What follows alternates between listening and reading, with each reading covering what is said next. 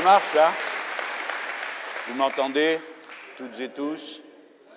Merci pour votre accueil. Croyez bien qu'il me va droit au cœur, car euh, l'ambiance du moment et certaines journées particulièrement lourdes à porter, et pour mieux dire à supporter. Les circonstances font que l'idée que je m'étais fait d'abord d'une mise en retrait sage et intellectuelle ne sont plus réunies. J'ai dû, euh, par la force des choses, me trouver de nouveau souvent jeté en première ligne, mais mon réconfort est que dorénavant, je n'y suis plus seul. Une brillante équipe a émergé dans le mouvement insoumis et elle a fait la démonstration de sa parfaite capacité à conduire les événements et à y faire face. Alors, euh, du coup, mon sage travail intellectuel s'est trouvé en quelque sorte pris à revers par des événements qui ont bousculé tous les calendriers. C'est réglé ou pas là, les camarades? C'est assez pénible. Les, événements au Proche-Orient viennent après d'autres formes de tension. Évidemment, ils apparaissent à présent sous une forme paroxystique qu'est la guerre. Et une guerre qui a des caractéristiques que je vais décrire maintenant en essayant d'éclairer ses motifs. Non pas spécifiquement liés à la situation au Proche-Orient, je n'en suis pas assez connaisseur pour pouvoir me risquer dans cet exercice, mais d'une manière générale dans notre temps. Mais c'est une guerre qui concentre tous les traits de la période politique que, que nous vivons évidemment les traits les plus abominables. C'est une guerre totale, c'est une guerre d'extermination, c'est une guerre qui euh, ne connaîtra pas d'autres limites que celles que nous aurons été capables d'y introduire par la résistance à la guerre. Sinon, elle ne s'arrêtera pas, elle ne connaîtra pas de pause, elle ne connaîtra pas de limite. Personne ne peut compter sur la sagesse des nations pour limiter la tuerie qui est en route et l'exemple tragique qu'elle donne au monde, qu'après tout, c'est une méthode comme une autre de faire la guerre. Alors même que précisément cette méthode se répand et trouve une forme organisée, méthodique, paroxystique à cette occasion. Quand on entend le président de la première puissance du monde dire qu'il n'y a pas de ligne rouge mise par la première puissance du monde à la forme de la guerre, tout le monde comprend que tout est permis. Et c'est d'ailleurs bien le message qui a été reçu sur place quand euh, la présidente de la Commission européenne, prétendue organisation internationale vouée à la paix et au bien-être, se rend sur place pour encourager la tuerie, quand la présidente de l'Assemblée nationale française, suivie de peu du président de la République, s'en va encourager et reconnaître un droit de légitime défense étendu à des actes de vengeance sans fin et à un meurtre de masse, on comprend qu'on ne peut pas compter sur autre chose que sur l'action politique, la détermination à faire des choix, à les tenir et à tâcher de les imposer. La vie est politique. Tout est politique. Tout dépend de la volonté et de l'activité humaine. Si vous laissez faire la guerre, elle n'aura pas de limite. Si vous empêchez la guerre, vous l'empêcherez. Dès lors, quoi qu'il advienne, nous n'avons comme individus singuliers, et comme groupe, et comme nation, et comme peuple d'autre choix que d'agir. Cela vaut pour chacun d'entre nous et pour nous tous en général. Alors, moi, mon, bouquin, mon travail, je ne me voyais pas euh, faire une tournée à partir du 7 octobre comme celle que j'avais commencée auparavant, qui était plus académique, portant plus sur des contenus sociologiques, ethnographiques, etc. etc. Je m'insère dans le contexte dans lequel je me trouve, et cela me conduit à vous dire deux choses. La première, c'est que la théorie est indispensable à l'action. Sans la théorie, sans la compréhension claire des facteurs qui sont à l'œuvre dans l'histoire, on ne peut pas agir d'une manière efficace. On va agir d'une manière passionnelle, des fois on ne va pas se tromper, on va agir d'une manière construite sur des réactions, sur des sentiments, mais on ne saura pas où on va. Comment y aller et la nature de ce qui se passe. Il n'y a pas de plus grand bonheur pour une conscience humaine que de comprendre ce qui se passe pour y trouver sa place. Je vous cite là une formule de Léon Trotsky qui m'avait beaucoup impressionné dans mon jeune âge quand j'étais étudiant. Comprendre est un bonheur, comprendre est une nécessité, comprendre est une condition pour agir. La théorie donc de l'ère du peuple et de la révolution citoyenne est mise à l'épreuve des circonstances. J'estime que, parce qu'elle a mis à jour, elle, elle répond à l'observation des faits nous avons sous les yeux.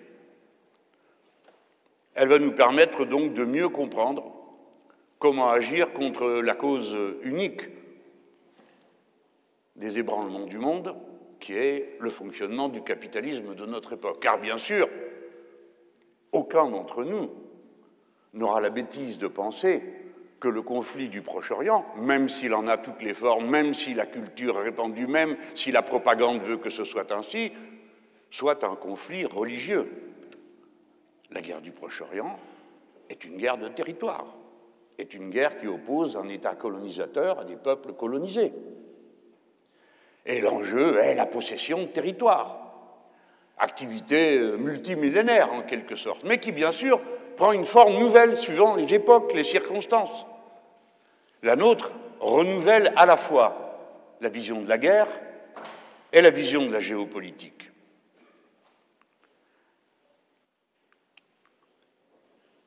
Si on y regarde de près,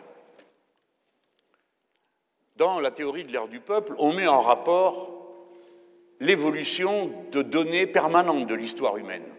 Par exemple, le nombre de la population, par exemple, le fait d'avoir créé des villes depuis moins 6000, moins 7000 ans avant notre ère, de connecter les êtres humains entre eux, d'abord par des réseaux élémentaires, des routes, des guets, des ponts, dorénavant par euh, des moyens numériques qui unissent 5 milliards d'êtres humains sur 8 par les connexions des réseaux que l'on appelle réseaux sociaux, et puis l'émergence d'une donnée absolument nouvelle qui est l'existence d'immenses réseaux collectifs pour satisfaire les besoins élémentaires de la population. Nombreux sont ceux pour qui tout ça va de soi, et qui, ayant euh, le nez dans le guidon, ou bien n'étant tout simplement pas nés depuis si longtemps que ça, contrairement à moi, n'ont donc jamais eu que ça sous les yeux, et qui ne se rendent pas compte, par exemple, du fait nouveau que représente la ville, l'existence de villes. Depuis 2008, il y a plus de monde qui vit en ville qu'à la campagne. Bon, et alors? Ben alors, c'est nouveau. Avant, c'était le contraire. Et dès lors, la guerre avant prenait d'autres formes. Si l'essentiel de l'humanité vivait à la campagne, c'est-à-dire dans une très faible densité de population, les guerres se concentraient sur l'appropriation des points de passage pour accéder au territoire et ensuite pour contrôler les populations. Avant, on annexait les populations. C'était très courant. Et dans la Bible, d'ailleurs, on trouve à intervalles réguliers des conseils sur ce qu'il faut faire avec la population. Le prophète Samuel reproche euh, au roi Saul de ne pas avoir massacré tout le monde, je ne sais plus où, et lui en fait euh, le lourd reproche. C'était exceptionnel, parce qu'on s'appropriait les populations, notamment les femmes et les enfants. On tuait les hommes, on les envoyait en esclavage pendant une période, et ainsi de suite. C'est vraiment de manière très circonstancielle et souvent improvisée qu'on massacrait tout le monde. C'est un fait nouveau que comme tout le monde vit en ville, ou de plus en plus de monde vit en ville, comme la population y est concentrée, alors le territoire est incontrôlable. Vous ne pouvez pas occuper une ville contre, ou un ensemble urbain contre sa population. C'est tout simplement impossible. Alors on ne l'a pas appris juste là, on ne l'a pas découvert juste là. Tout ce que je raconte, ce sont des tendances qui se concrétisent, qui s'affinent l'urbanisation du monde, ça a pris euh, euh, beaucoup de temps, plusieurs euh, dizaines de milliers de millénaires. Et l'émergence d'une population extrêmement nombreuse, c'est en fait tout récent. Ceux d'entre nous qui ont 20 ans et moins n'ont pas idée de ce qu'était le monde vide autrefois. On appelait l'Afrique le continent vide, il n'y avait personne dedans, ou tellement peu de monde que comparé à l'étendue du territoire, ça n'existait pas. C'était le cas dans les années 50. C'était le continent vide. Et puis, le premier milliard d'êtres humains est apparu en 1820. le deuxième milliard un siècle seulement après, et depuis, tous les 10-12 ans, il y a un milliard d'habitants de plus. Donc, cette population immense est regroupée en villes et elle est incontrôlable quand elle est rassemblée. Car c'est sa concentration qui fait sa force, toujours, dans toutes les circonstances, y compris dans la lutte politique, c'est le nombre qui fait la force. Dès lors que ces populations sont incontrôlables quand elles sont en ville, l'envahisseur se donne pour objectif non pas d'annexer la ville, mais soit de la détruire, soit de tuer tout le monde. Que la ville soit incontrôlable, dorénavant on le sait, depuis Stalingrad. C'était pendant la Deuxième Guerre mondiale. Une armée entière s'est fracassée sur une ville qui résistait. Et à partir de là, tout le cours de la guerre a été renversé. Et l'armée rouge a pu euh, prendre son élan et libérer plus de la moitié de l'Europe des nazis. Sur cet échec des nazis face à une ville. Aujourd'hui donc, les guerres sont des guerres, premièrement totales, premier adjectif, important, depuis Guernica, on le sait, depuis la Première Guerre mondiale, une guerre totale, c'est une guerre où on rassemble tous les éléments dont on dispose pour frapper au même endroit. Frapper, frapper, frapper et frapper encore. La guerre totale a commencé dans ses premières formes à la Première Guerre mondiale, elle s'est épanouie dans la Deuxième, et dorénavant, elle est la forme permanente de la guerre. À Grozny, les Russes ont rasé la ville. Alep a été rasée à moitié. Je prends ces exemples, je pourrais les multiplier. La guerre totale conduit à l'arrasement des villes. Et nous sommes à Gaza devant un concentré de ces éléments. C'est une des populations les plus concentrées du monde. Ce n'est pas la seule, mais c'est une des plus concentrées du monde. Et la guerre se présente comme une guerre d'extermination totale, sous les prétextes les plus divers. Mais c'est à nous de les disperser pour comprendre ce qui est en train de se passer, parce qu'après, il va falloir trouver des réponses pour l'humanité tout entière. De ce point de vue, le secrétaire général de l'ONU a raison de dire que nous sommes devant une crise de l'humanité, puisque le pire de ce que nous savons faire, à part jeter une bombe atomique, est en train de se dérouler là-bas à Gaza, comme dans un immense laboratoire à ciel ouvert de la guerre totale qui est une guerre par nécessité ethnocidaire. Naturellement, nous en avons eu les prémices. Comment faire? Mettez-vous à la place des dominants. On ne peut pas avoir comme doctrine de guerre d'expliquer comme nous avons tous les droits, nous allons tuer tout le monde. Il y a donc un cadre intellectuel à l'intérieur duquel se déroule et s'organise la propagande. C'est pourquoi, lorsque l'URSS s'est effondrée, les théoriciens de la domination du monde par les États-Unis d'Amérique ont immédiatement produit une doctrine. Quelqu'un avait dit Ah, formidable, on a gagné, c'est la fin de l'histoire. Il avait dit comme ça. Et les autres ont dit ah, Pas question, pas question d'utiliser un vocabulaire pareil, ça va pas à la fin de l'histoire, et puis quoi encore? On va discuter, non, pendant que vous y êtes? Non, ce n'est pas la fin de l'histoire, au contraire, c'est le début d'une nouvelle histoire, le choc des civilisations. J'espère que les insoumis qui sont là, dorénavant, ont présent à l'esprit l'importance de cette théorie dans l'organisation de la vision du monde chez nos adversaires. Il faut bien qu'on la comprenne parce que sinon on ne comprend pas ce qu'ils font, ni comment ils s'organisent, ni pourquoi c'est méthodiquement mis en place. Le choc des civilisations, c'est une invention d'un auteur américain qui s'appelle Samuel Huntington, qui l'a écrit pour la première fois en 1996. Nous sommes donc juste pile poil cinq ans après l'écroulement de l'URSS. Et cet homme avait déjà, je ne sais pas si on doit dire un actif ou un passif en matière de doctrine, parce que dans la décennie précédente, les deux décennies précédentes, il avait écrit un autre livre qui expliquait que pour développer les pays, ce qu'il fallait, c'est qu'il y ait des militaires, parce qu'eux seuls étaient capables d'exercer le pouvoir dans les meilleures conditions. Et ça a donné tous les pushs que vous avez connus, que les États-Unis d'Amérique ont alimentés. Donc une théorie n'est pas juste un objet intellectuelle, c'est une machine à faire de la propagande, à organiser des rapports de force, etc. Dans la théorie du choc des civilisations, une Tinton prend un exemple dans l'Antiquité, c'est des cités grecques, les Perses arrivent, alors on dit Ah, vous êtes contre Athènes, donc vous êtes avec nous. Dit, doucement, nous, on n'a pas les mêmes dieux que les Perses, par conséquent, on se mettra avec Athènes, même si on l'aime pas. Et une Tinton dit Vous voyez, ça, c'est la preuve que toutes les civilisations, au fond, reposent sur la religion. Et la religion est indépassable. Alors nous, nous avons réglé, nous, le peuple français, nos ancêtres, les biens n'y étaient pas, mais j'adopte les vôtres. Nous avons réglé cette question. Nous avons dit la foi, la religion est de l'ordre du privé, l'État n'a pas à intégrer les prémices de la religion, chacun fait ses choix librement. L'État, la loi, doit ouvrir des libertés, les protéger, chacun d'entre vous fait ses choix de vie en fonction de sa morale, qui peut être une morale religieuse, et nous n'avons pas l'intention de le discuter. Mais l'État s'en tient à distance. L'État chez lui, les églises chez elles. Cette formule est au fond celle qui a permis de mettre un terme à trois siècles de guerre civile dans ce pays, entre catholiques et protestants, et entre tout le monde et la communauté juive. Mais là, c'est le contraire qu'on vous enseigne. Et il faut bien comprendre l'impact immédiat de ce changement de registre.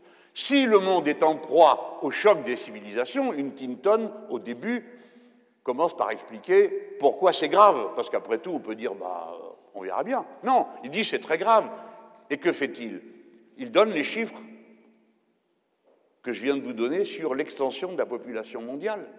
Et il compare les populations de l'Asie, de l'Afrique, etc., etc., et il les met chacune dans un paquet de civilisations. Alors, naturellement, ça n'est pas possible, je vous rassure tout de suite, rien de tout ça n'a le moindre début de science. Alors, ça donne des assemblages bizarres, il met dans l'Occident euh, des Occidentaux aussi peu convaincants que les Japonais. Euh, il fait des Chinois euh, des amis de l'ennemi absolu qu'est l'islam, car l'islam est désigné comme l'ennemi. Et donc tout s'organise autour d'un conflit entre l'essentiel des gens civilisés et les musulmans. Naturellement, tout ça n'a pas de réalité. Mais ça va permettre de le décliner partout de dire Ah ben vous voyez, chez vous, c'est le choc des civilisations. Comment s'y prend-on? On rend toute contradiction, fait de toute contradiction, non plus en fait social, non plus en fait de choix politique, non plus en fait de choix humain, mais en choix de religion et de race. Donc on racise toutes les relations entre les individus. On ne voit plus une personne, on voit sa religion supposée qu'on lui attribue d'après la couleur de sa peau ou son vêtement. Et à chaque conflit, on va ressortir le paramètre religieux. Évidemment, les plus malins utilisent à leur fin cette situation. Si tous ceux qui critiquent la politique du gouvernement de M. Netanyahou sont accusés, ipsé, d'être de ce seul fait des antisémites, vous voyez bien qu'on ne peut plus critiquer une politique, on ne peut plus critiquer une situation, on ne peut qu'être dans un camp de racistes, et tout est racisé.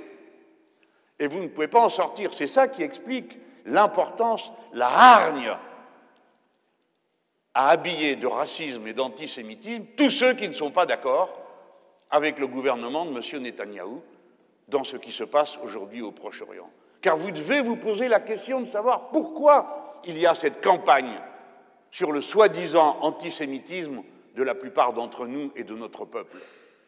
Il y a une raison. Ce n'est pas seulement la détestation personnelle, après tout, je ne porte pas ça sur ma figure. Il y a, tout le monde ne me trouve pas antipathique, rien qu'à me voir.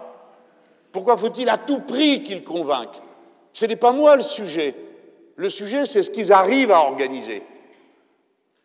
Quiconque s'opposerait à cette politique serait antisémite.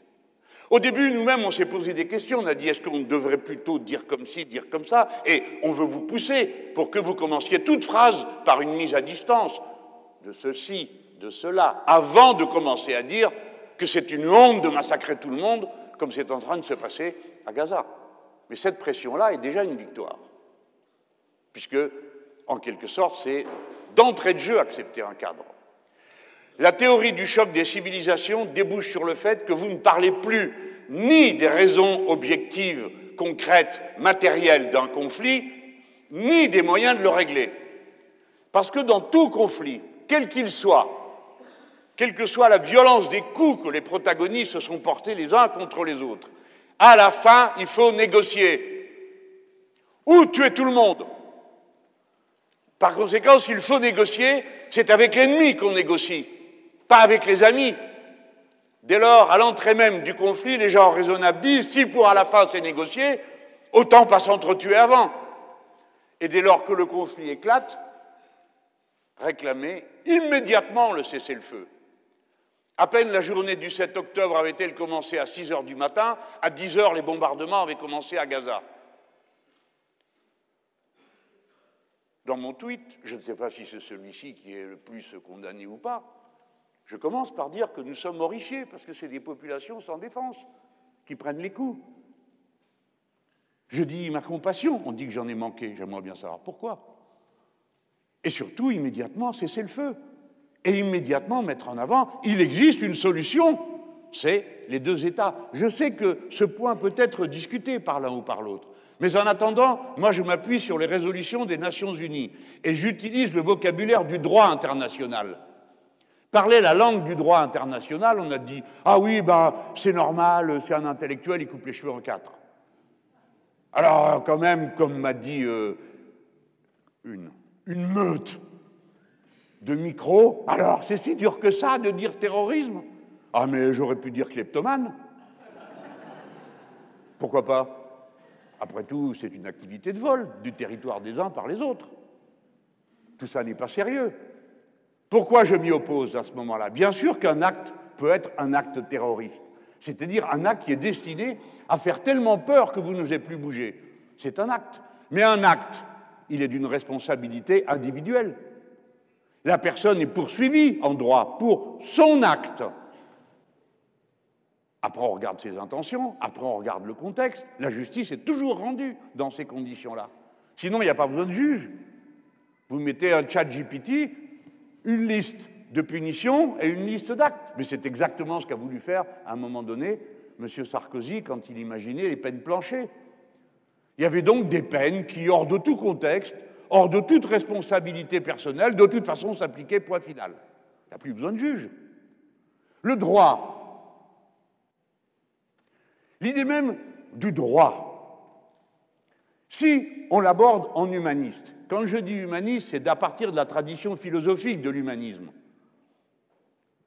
pas cette horreur qui mélange humaniste et humanitaire, surtout pour dire comme M. Le Cornu qui s'en va là-bas à Tel Aviv voir le général Galland, et qui ose dire nous partageons des valeurs humanistes. Non, nous ne partageons aucune valeur avec un criminel de guerre.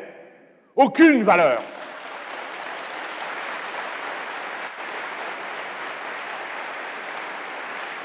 Mais surtout, L'humanisme dont je vous parle, c'est celui qui a fondé la philosophie des Lumières et qui débouche sur la grande révolution de 1789 et qui débouche sur l'idée de l'État laïque et républicain. C'est lui dont on parle. Qu'est-ce qu'elle signifie, la philosophie de l'humanisme? Que l'être humain est son propre responsable, qu'il se construit lui-même, qu'il est l'auteur de son histoire et c'est pourquoi les premiers textes humanistes, en réalité, sont les textes des premières féministes comme Christine de Pisan qui disent si vous éduquez vos filles comme vos garçons, elles auront les mêmes résultats. Ne croyez donc pas une différence naturelle qui les séparerait.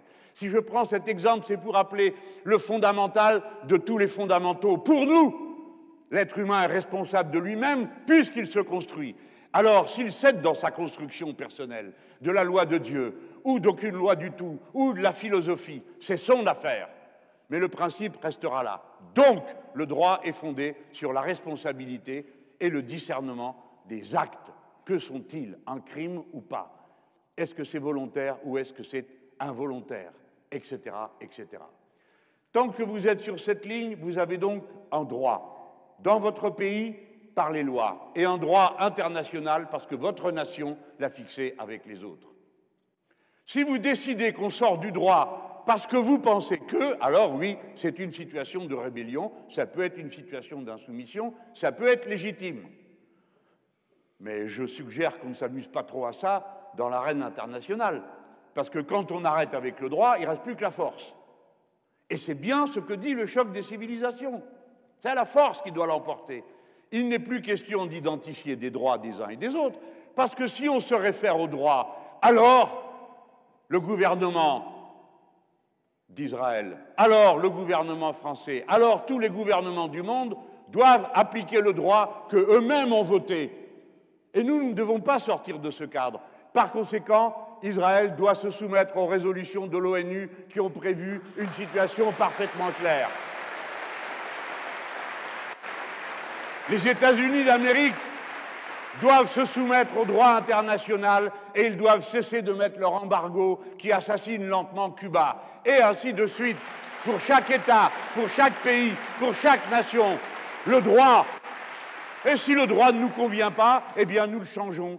Bien sûr que l'ONU est imparfaite de mille manières, mais pourquoi l'est-elle?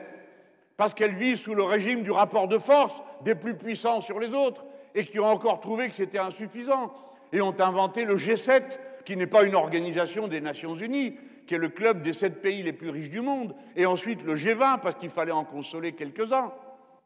Voilà comment le monde est organisé. Si vous sortez du droit, alors vous avez le choc des civilisations et vous avez la guerre au terrorisme. Alors, pour le commun des mortels, oui, bah oui, ah, le terrorisme, c'est affreux. Qui va dire que c'est bien? Personne, pas moi, ni vous. Mais ce n'est pas le sujet. Et si vous dites la guerre au terrorisme, expliquez comment vous faites la guerre à un concept. Seul compte le droit, quels sont les actes?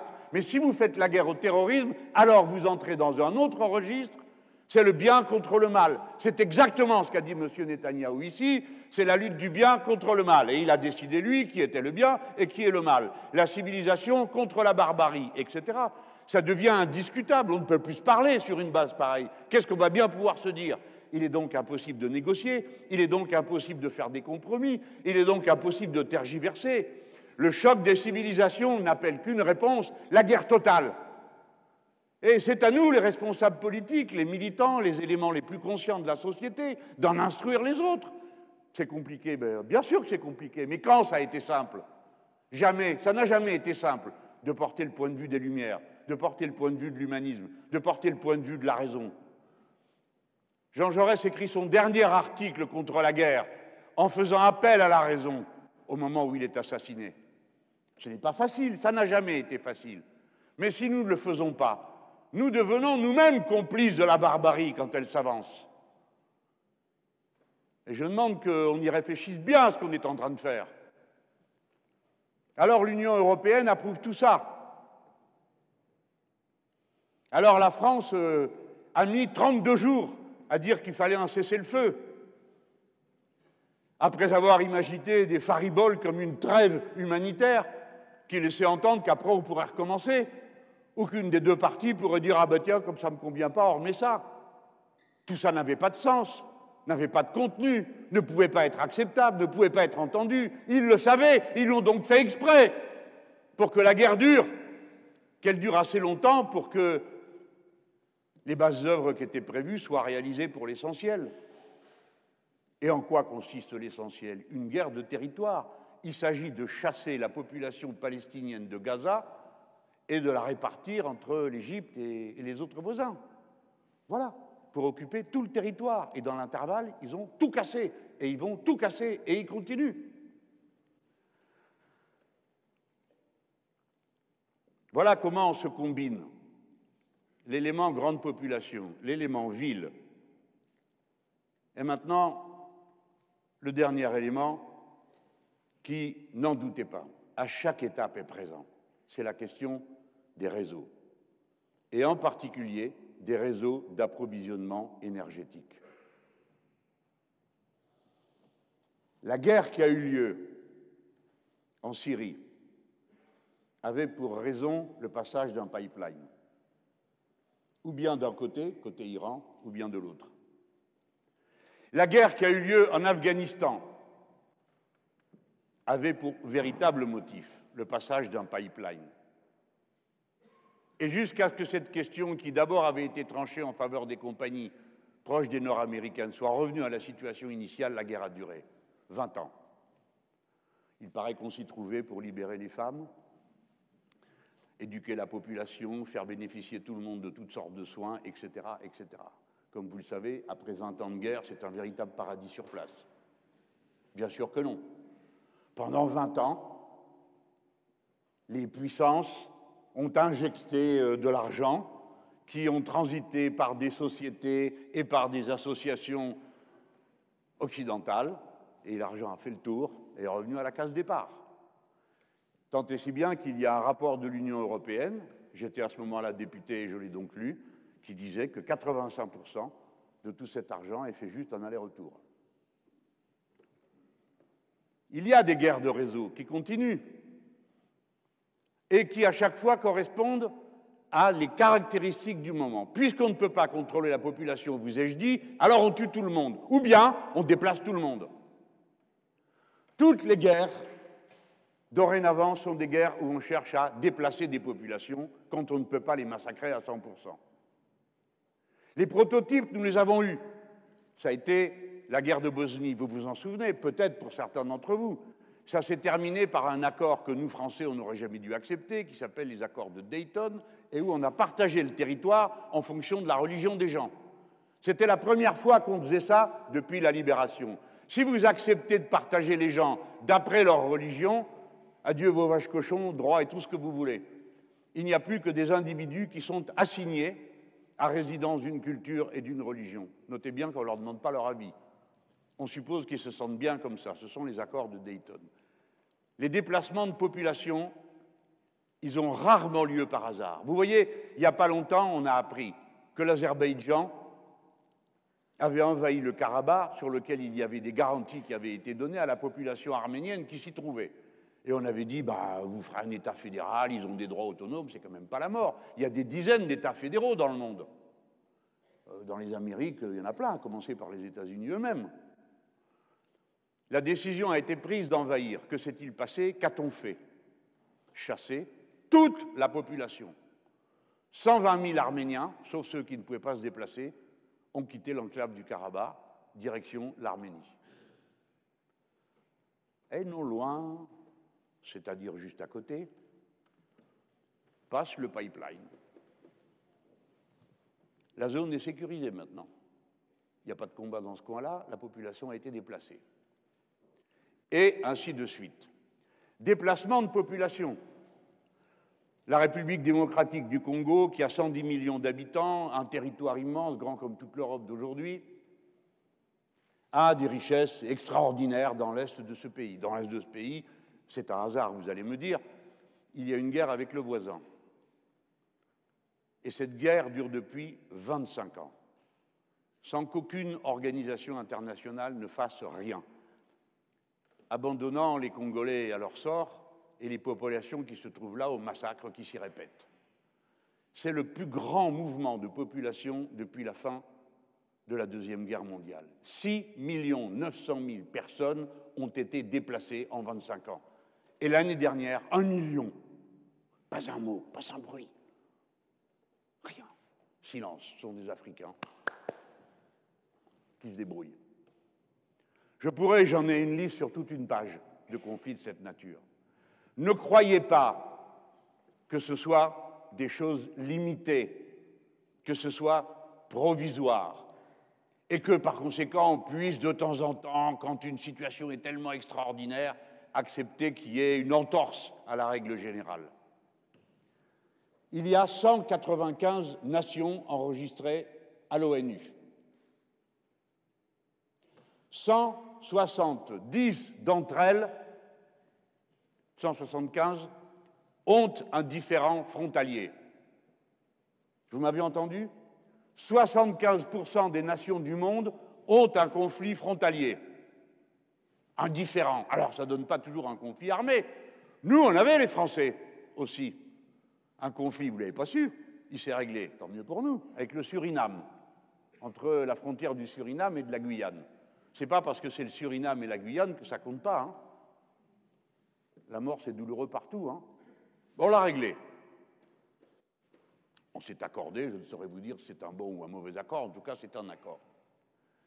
Mais parmi ces 175 nations que je viens d'évoquer qui ont un différent frontalier, 28% d'entre elles ont un conflit armé entre deux pays. Armé. C'est euh, plusieurs dizaines de pays. Donc la guerre n'est pas un fait euh, rare et exceptionnel.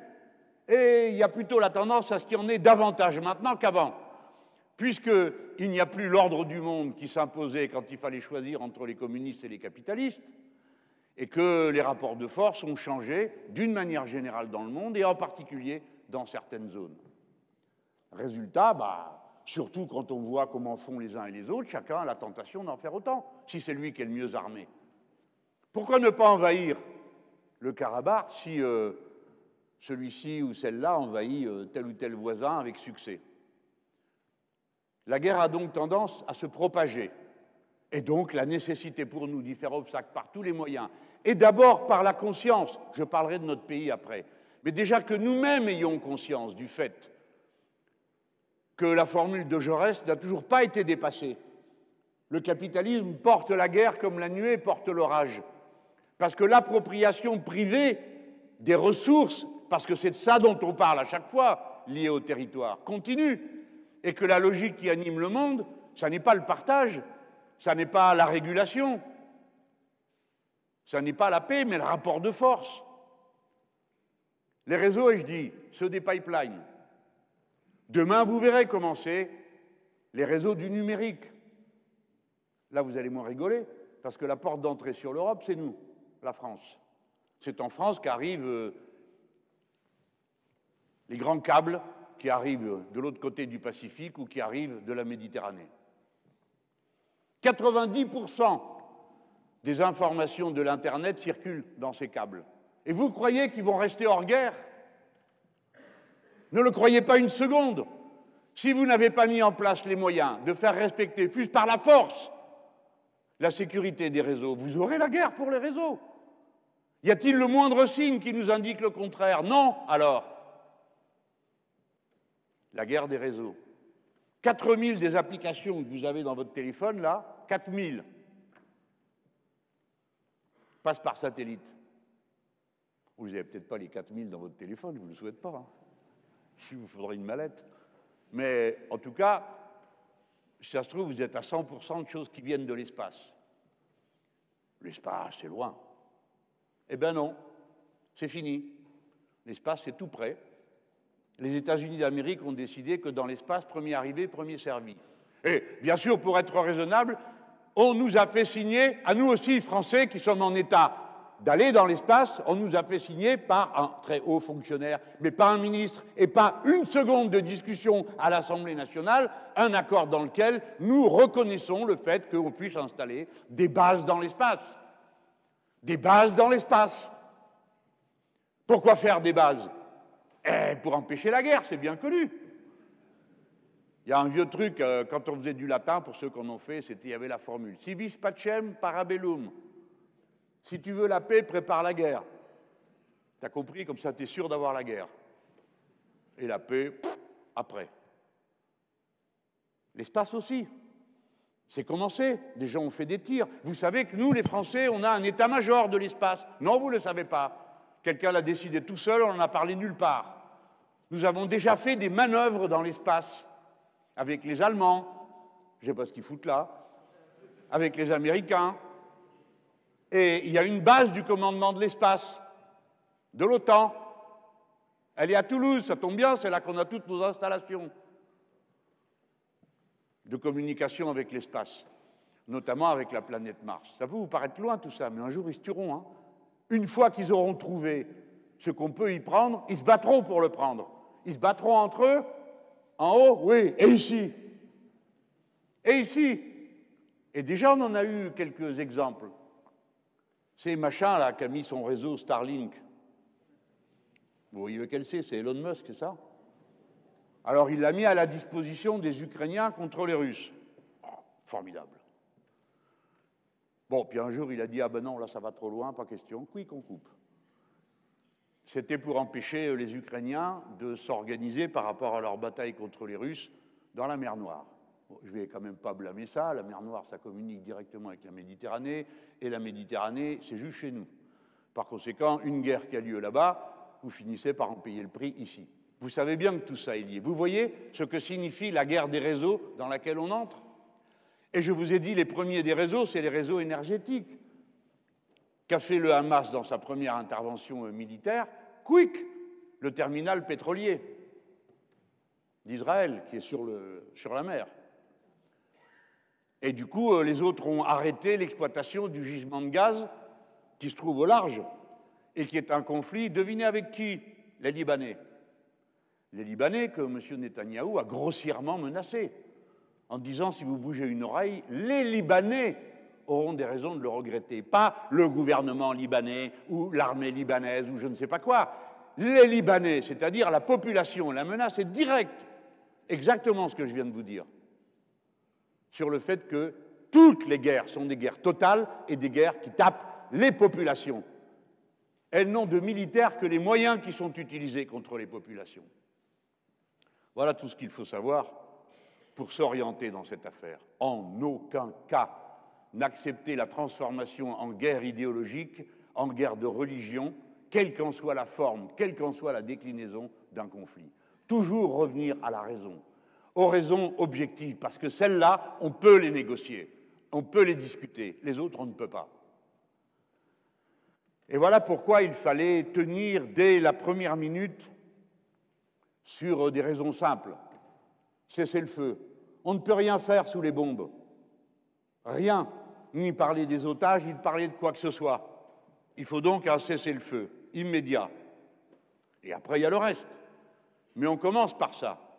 À chaque fois, il faut se mettre en travers d'une logique de guerre par une proposition de paix. Même si elle est provisoire, même si elle n'est pas durable, même si elle est localisée, au moins on commence.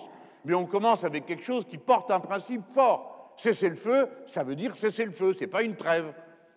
C'est pas on arrête, mais demain peut-être qu'on recommence.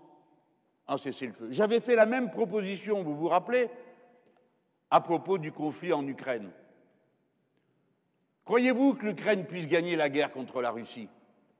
On va tous faire semblant que oui. Mais on est tous assez instruits pour savoir que ce n'est pas possible.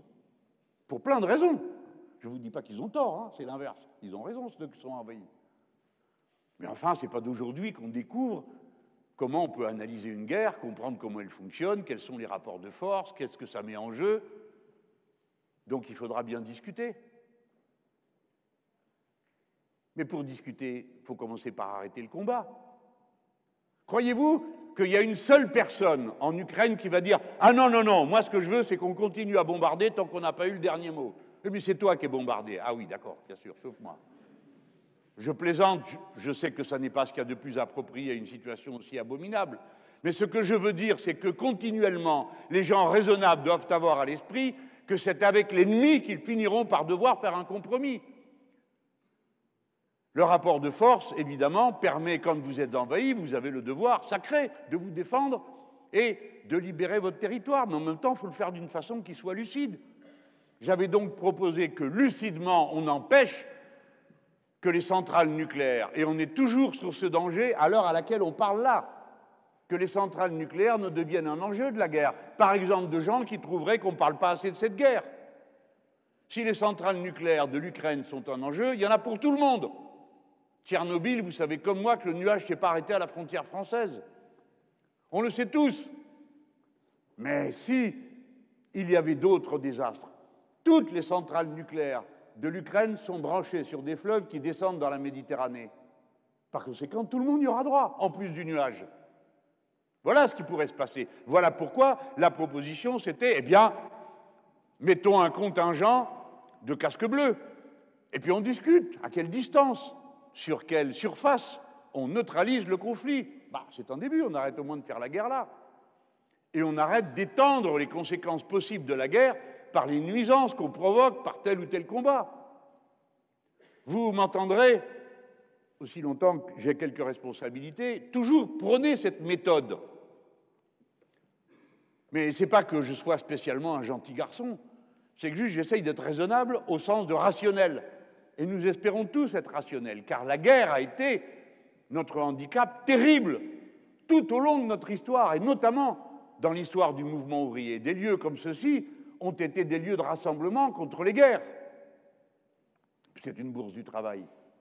Et j'y viens. Pourquoi, dans cette affaire, nous montons en ligne? Je l'ai dit pour le droit international, pour le droit des peuples, bien sûr, mais aussi pour notre propre intérêt. Nous sommes, nous, les gardiens de l'unité du peuple. Si vous laissez le racisme entrer dans le peuple, quelle que soit la forme de ce racisme, le peuple sera divisé dans des conditions où vous ne pouvez plus ensuite rembobiner le film. Si les gens apprennent à se haïr à cause de leur religion, comment voulez-vous faire cesser un tel conflit? Est-ce que nous en avons l'expérience? Oui, trois siècles de guerre entre catholiques et protestants. Et je vous passe le reste. Hein. Les périodes plus récentes, où il y avait des pogroms d'Italiens qui étaient organisés autour de Lyon. Et les gens qui leur en voulaient disaient oui, de toute façon, leur catholicisme n'est pas sérieux, parce qu'eux, ils considéraient que le leur l'était. Et ainsi de suite. La religion peut apporter le secours de la foi aux gens qui y adhèrent, et on ne va pas le discuter, mais quand elle est utilisée politiquement, voilà ce que ça donne. Si nous laissons aller aussi bien l'antisémitisme, mais que la haine des Arabes, qui anime sans aucune retenue, et quand je dis la haine des Arabes, j'y ajoute la haine des musulmans, à la religion desquels on attribue tout le pire, continuellement, sans que jamais quelqu'un dise Ça suffit maintenant, taisez-vous, il y en a assez d'entendre ce qu'on entend à la télévision, à la radio, tout le temps, sans limite. Et vous avez des petits personnages qui sont là et qui décident Toi, t'es un antisémite, toi, t'en es un autre. Il est là avec son rayon paralysant. J'ai pas peur Et je vous invite à pas avoir peur pour relever la tête et dire Vous nous ferez jamais avaler d'aucun potage de haine des musulmans, d'islamophobie, d'arabophobie. Vous perdez votre temps avec nous.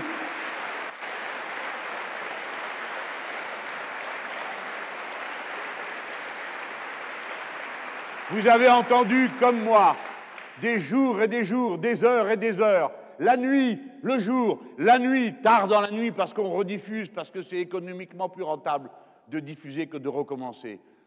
Des gens insultés, offensés, d'une manière indigne les musulmans de notre pays. Admirez la patience de ceux qui ont subi tous ces outrages et qui ont su avec sang-froid garder leur raison, leur calme.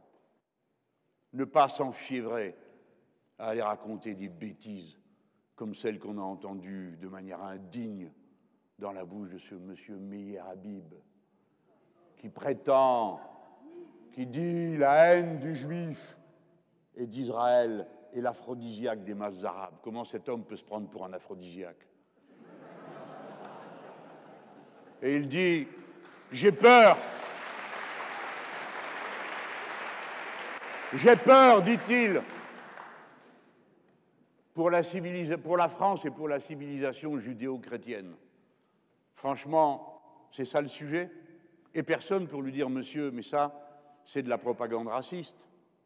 Non, lui non. Alors nous, nous avons cette tâche qui est la nôtre. Empêcher l'antisémitisme, empêcher l'islamophobie. Comment faisons-nous En résistant nous-mêmes, en n'acceptant pas des paroles indignes autour de nous, en n'acceptant pas les comportements indignes, en enseignant à nos enfants, quand ils regardent la télévision, qui leur pourrit le cerveau, qu'on ne parle pas comme ça. Écoutez-moi les gens, je suis pied noir. Ma mère, de toute notre famille, était celle qui tenait bon et qui interdisait à son garçon, moi, à sa fille, ma sœur, de répéter les bêtises qu'on entendait, et qui nous expliquait pourquoi ce n'était pas acceptable de parler comme ça des autres, pourquoi ils étaient nos frères et nos sœurs.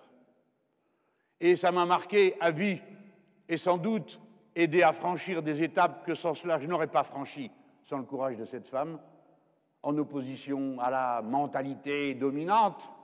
Et on comprend pourquoi je ne juge pas les miens, je ne juge pas mes anciens. Je comprends qu'ils aient été comme ça, mais je n'en admire que plus ce qu'a fait cette femme.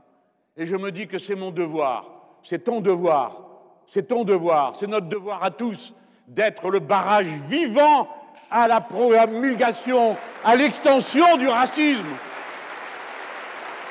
quel qu'il soit, même quand ça coûte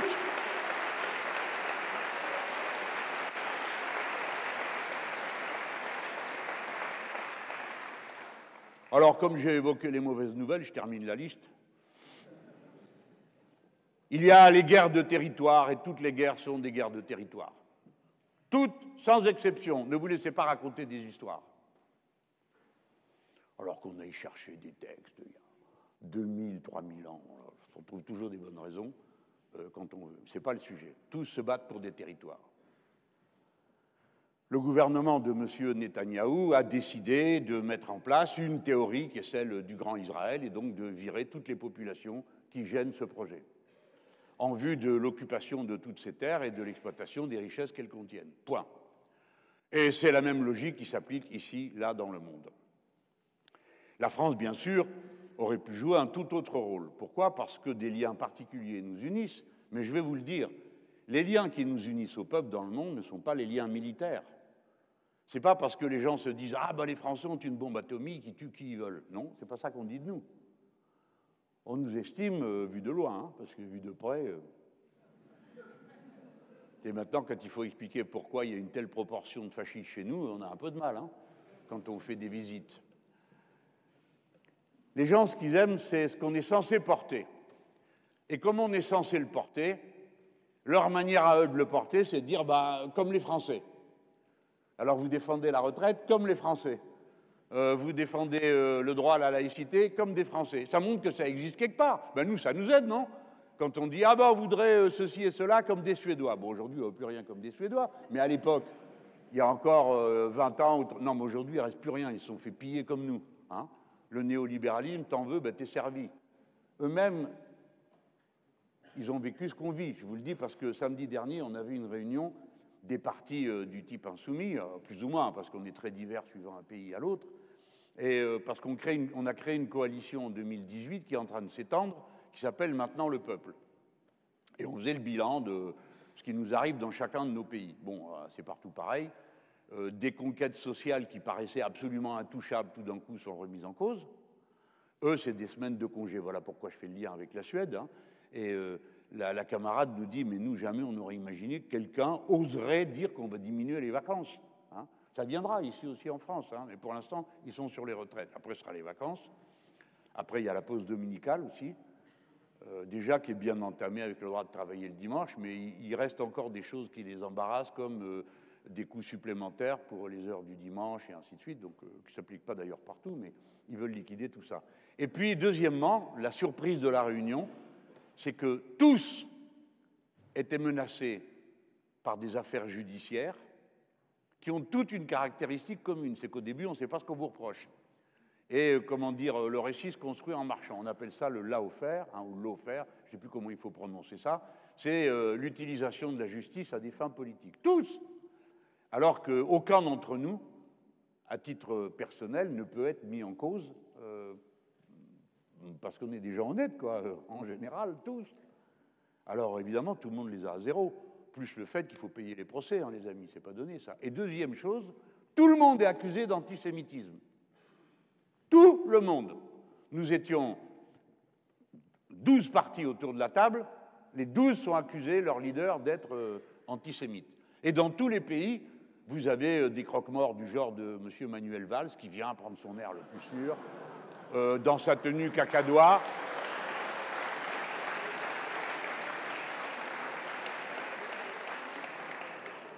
C'est frappant, vous ne trouvez pas? Ces types qui mettent des imperméables avec des épaulettes de partout et qui prennent tout son tour comme ça. Une mine pas possible. Là, il y aura une photo qui va être faite, elle va être dans la presse. Hein. Que moi, les photos, je prends cher. Hein. Je suis certainement l'homme politique dont les amygdales sont les mieux connus de tout le pays. C'est moi. Des fois, on voit même plus profond.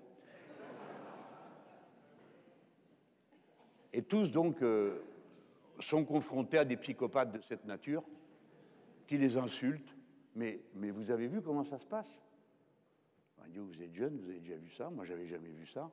Vous allez à la télé, vous asseyez, quelqu'un qui est en face de vous, qui a l'air sympathique, qui est propre et tout, qui sent bon, et qui dit euh, Vous êtes antisémite Comme ça. C'est un crime, hein? Je vous signale. Le racisme, ce n'est pas une opinion, c'est un crime en France. Si ces gens croyaient à ce qu'ils disaient, il nous fera un procès, non? Il devrait aller porter plainte. Qui l'a fait? Personne. Ah, ah. Pourquoi? Parce qu'on n'est pas antisémite. Et ainsi de suite. Il faut donc qu'on résiste à tout ça en ayant le sang-froid de ne pas en rajouter dans l'autre sens. Ce n'est pas toujours facile, parce qu'il y a une légitime colère, quand même, qui monte. Et donc, euh, il va falloir en savoir faire preuve de beaucoup de sang-froid, parce que, je vous ai dit, il y a les causes des frontières, il y a les causes des richesses à s'approprier, etc..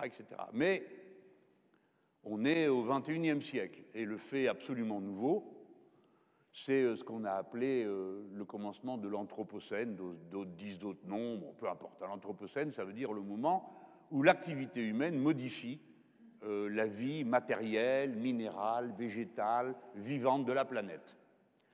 Et là, les amis, c'est plus la même musique, parce que les processus qui sont lancés ont une force d'inertie, vous ne les arrêtez pas comme en appuyant sur un frein, quoi vous êtes obligé d'avoir des politiques extrêmement construites et dans la durée qui obligent à des modifications profondes de l'organisation des sociétés humaines. Parce qu'il y a des consommations qui doivent reculer. Alors, quand on dit ça à des gens qui n'ont déjà pas beaucoup de consommation, ils se sentent encore plus menacés, mais vous avez tous compris de quoi je parle.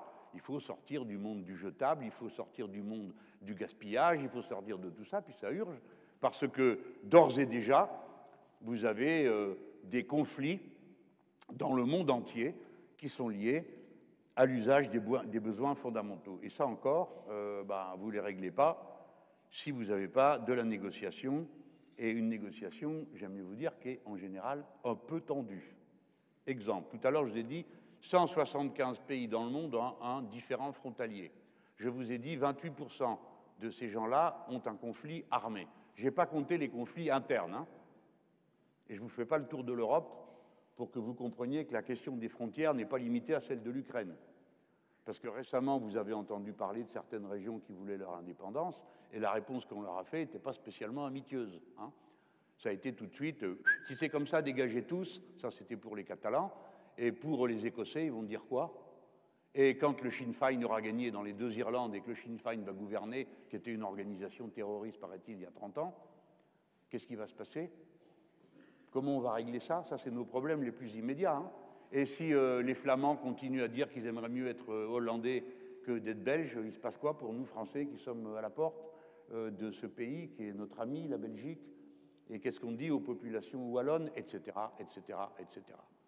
Si vous continuez à confier votre sort à des gens que ça n'intéresse pas, qui n'y comprennent rien, qui racontent n'importe quoi en fonction de leur humeur, de leur caprice ou de leur état d'agitation, ne vous attendez pas à autre chose, je ne sais pas vous que je suis en train d'engueuler, que d'avoir des résultats comme ceux qu'on a.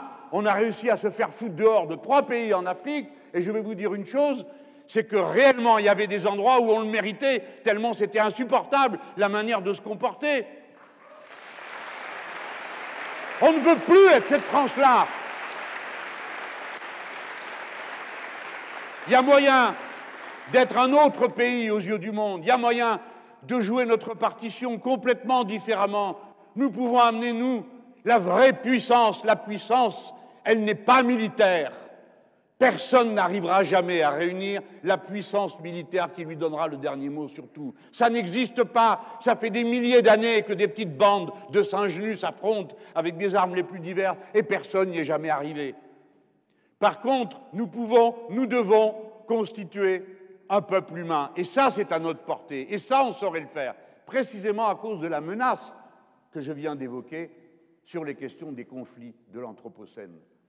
Les principaux conflits auxquels nous avons droit, c'est des conflits d'abord d'accès à l'eau. Avec mes camarades et l'organisation qu'on a fait de la campagne présidentielle, on n'est pas arrivé à imposer ce, débat. On pensait y arriver. On a commencé un des tout premiers meetings en réalité augmentée. On avait mis tous les gadgets qu'on trouvait là euh, pour se rendre intéressant. Rien. Impossible d'en faire parler qui que ce soit. Évidemment, après, le président a réalisé que 500 communes étaient en état de sécheresse, mais euh, l'élection était passée, donc euh, voilà. Et d'ailleurs, ça tombait bien, comme il avait l'intention de rien faire et qu'il n'a rien fait, ça a continué, et l'été prochain, vous aurez la même situation en pire. Les conflits dont je vous parle il y a 263 bassins fluviaux et de lacs qui sont entre des frontières. D'accord? Quand c'est au milieu de chez vous, tranquille, c'est à vous. Mais quand c'est entre les deux, la discussion commence. Ben, sauf que 75% de ces situations non plus n'ont pas d'accord de règlement frontalier. C'est-à-dire, vous n'avez pas un endroit où on se réunit pour discuter. Donc, euh, celui qui est le plus malin prend tout, et l'autre, eh ben, il vient et il dit euh, Ça, c'est pas possible que tu prennes tout. Il y a donc déjà 12 conflits d'utilisation de la réserve de l'eau sur les fleuves qui sont des conflits ouverts, dont un paxon, là où il y a le plus besoin d'eau, c'est-à-dire notamment au Proche-Orient. Je veux dire, il y en a, je ne sais pas combien, sur les 12, il doit y en avoir au moins 8 à cet endroit-là.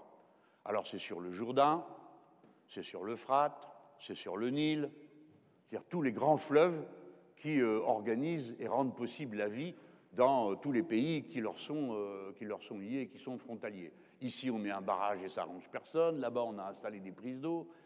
Et comme ça, un peu partout dans le monde. Les conflits de l'Anthropocène, vous, avez entendu ce que je viens de vous dire. Il y a 256 occasions de se disputer. Pour 195 États, il y a de la marge en plus. Hein. Vous pouvez vous disputer plusieurs fois. Vous savez que je suis allé là-bas au Congo, là. Ils ont neuf voisins, nous, on ne connaît pas ça. Hein. Neuf voisins, vous imaginez Neuf frontières. Chaque fois, c'est un fleuve, une rivière, quelque chose. Bon, on discute ou on ne discute pas avec les voisins. Ces conflits-là, il va falloir se dépêcher de trouver une manière de les régler. Parce que d'ici à 2050, il faudra 40 à 50% d'eau de plus que celle qu'on consomme. Alors, si nous voulons continuer à être les meilleurs amis des poules chinoises, puisque nous consacrons une partie de notre agriculture à cultiver du maïs pour ces charmantes bestioles, il est clair qu'on va finir par avoir, nous aussi les Français, un problème. Nous n'exportons pas du maïs, contrairement à ce que vous pouvez croire pour les poules chinoises. Nous exportons de l'eau. Parce que pour faire ce maïs, il faut beaucoup d'eau. Et l'eau qu'on y consacre, on ne la récupère pas. Vous voyez qu'il faut changer le regard. Là, j'ai pris que cet exemple, je vous rassure, je ne vais pas vous saouler ce soir avec une conférence sur l'eau. Hein. Mais c'est pour dire que c'est absolument toute la question de l'organisation de la société qu'il faut reprendre. Toutes les soi-disant bonnes nouvelles qu'on vous vend, le commerce extérieur de l'agroalimentaire marche, c'est formidable. Non, c'est pas formidable, c'est une cata. En tout cas, quand il s'agit de ça. Ah, nous allons faire entrer l'Ukraine dans l'Europe, ça va être la paix, la joie et le paradis sur terre. Certainement pas. Ça va être un chaos encore plus grand qu'avant. Pourquoi? Parce que le pays est détruit. Et par conséquent, les fonds qui sont affectés par l'Europe, aujourd'hui aux zones dites ultra-périphériques, ça passera là-bas parce que tout est cassé. La politique agricole commune, elle ira là où il y a l'agriculture la plus productive du monde, c'est là-bas qu'elle se trouve, pour la raison que la terre est meilleure que n'importe où ailleurs. Mais nous, ça nous concerne quand même, les Français. Nous ne sommes plus un pays autonome sur le plan alimentaire. 80% de ce qu'on mange, on l'importe. Vous trouvez ça normal? Pour quelle raison on en est là? On est capable de le faire, non? Mais évidemment, c'est des logiques d'organisation. Vous voyez tout ça, tient. Et à chaque fois, on revient à l'international c'est des accords internationaux, c'est l'Organisation mondiale du commerce. C'est pour ça qu'on fait une réunion ce soir où on parle d'international. Vous ne pas à quel point ça me fait plaisir de le faire. Parce que tout le reste du temps, on ne peut pas. On ne peut pas, ou ça n'intéresse pas, ou on dit Ah ben c'est loin, euh, attends, il y a plus urgent. Non, il n'y a pas plus urgent. Il n'y a pas plus urgent que d'organiser le monde. Nous ne sommes pas partisans d'un monde multipolaire, comme disent les petits bourgeois, qui trouvent que c'est insupportable le monde polaire où il n'y a qu'un chef. Parce que le monde où il y a plusieurs chefs, ça finit dans la guerre. Nous n'avons pas besoin d'un monde multipolaire, nous avons besoin d'un monde ordonné, et où la loi s'impose par la force quand il le faut. Et l'ONU a une organisation militaire, l'ONU a un commandement militaire unifié. Nous n'avons pas besoin de l'OTAN pour faire ce que nous avons à faire. Et notamment dans certaines circonstances. Qu'est-ce qu'on va faire si M. Netanyahou estime que les Libanais ne se comportent pas comme ça lui convient, vu qu'il les a déjà menacés. On va regarder. On va prendre 32 jours avant de dire écoutez, c'est insupportable. Il les a menacés. Son ministre de la Défense a dit ce qu'on est en train de faire à Gaza, on est capable de le faire à Beyrouth. Vous entendez? Beyrouth, c'est la capitale du Liban. Je ne dis pas que Gaza est la capitale de rien, mais c'est quand même pas rien de menacer le voisin. Imaginez-vous que moi je dis ça. Ah ben Berlin, vous tenez tranquille parce que sinon on vient. Tout le monde dirait ah, il est temps de changer de boulot et peut-être qu'une petite passage par la case soit intensif euh, vous ferait du bien. Hein mais lui, il peut dire ça. Vous avez entendu un chef d'État, notamment le nôtre. Nous, on n'est pas liés aux Libanais. On n'est pas comme ça avec eux depuis. Euh, hein, c'est pas toujours pour se dire des bonnes choses, mais on est liés. Alors on n'a rien à dire. Le président de la République française n'a rien à dire. Monsieur Lecornu peut aller dire nous partageons des valeurs humanistes avec des gens qui menacent les voisins de raser leur capitale. Vous voyez pourquoi il y a des raisons de se fâcher et pourquoi des fois c'est dur de dire je fais semblant. Mais moi, ça me fâche de voir ça. J'ai lu les livres d'histoire, été à l'école comme vous, je sais très bien comment les guerres, comment ça démarre. On a assassiné l'archiduc, tu sais pas qui c'est, mais bref, on l'a assassiné. Et c'est parti, en avant. Et alors, machin est allié à truc et allié à bidule, le résultat, tout le monde est en guerre, ça tombe bien, on ne pouvait pas blairer le voisin, le voisin ne pouvait pas blairer le voisin, et ainsi de suite. Non, la paix la paix n'est pas un état de nature. Mes amis, mes camarades, c'est une construction politique et on l'a fait respecter par la politique. On s'est collé une histoire de fou avec la chute de l'URSS où personne n'a discuté les frontières derrière. C'est la première fois depuis bien longtemps qu'on voyait un empire s'effondrer sans négociation. Résultat, c'est des dizaines de conflits qui traînent partout à cause de cette situation. Là, vous avez des dizaines de conflits qui sont en train de mûrir pour des raisons liées à la catastrophe climatique, au climat, à l'eau, à l'accès à des ressources alimentaires. L'Espagne est menacée d'être pour l'essentiel transformée en un désert. C'est à notre porte, l'Espagne. Si nous continuons à laisser les choses aller comme elles vont en Méditerranée, ce sera un égout d'ici peu. Je vous ai dit il y a quelques instants que le gouvernement d'Israël a stoppé, à mon avis c'est une bonne idée, l'exploitation de la zone dite de Tamar, je crois, où il y a du gaz qui est en conflit avec, euh, le Liban. Mais ce n'est pas le seul endroit où il y a une installation en mer Méditerranée. La mer Méditerranée, il lui faut 100 ans pour renouveler son eau. Vous n'avez pas intérêt à déconner. Hein ce n'est pas euh, l'océan immense où vous dites euh, pas vu, pas prêt, tout ce qui est à Fukushima, tchouf, on y fout tout à l'eau, on verra bien. Ah ben tiens, on voit rien, donc ça tombe bien. Pas vu, pas pris. Débrouille-toi. Pourtant, ça va nous revenir dessus, on le sait tous. Ce n'est pas possible de jeter des milliers et des milliers de litres d'eau irradiée et qu'il n'y ait aucune conséquence sur le vivant à l'endroit où on va balancer ça. Alors qui c'est qui proteste? Pas la France, les Chinois. Alors, les Chinois ont osé dire que c'était égoïste. Aussitôt, ah, les Chinois, leur volonté impérialiste, donner des ordres à tout le monde. Ben, attendez, si quelqu'un jetait de l'eau irradiée dans la Méditerranée, euh, on trouverait normal d'en parler, non? C'est ce qui s'est passé. Donc silence dans les rangs. Si vous êtes du bon côté de la civilisation, vous ne pouvez pas donner raison à quelqu'un qui est du côté du mal et de la barbarie.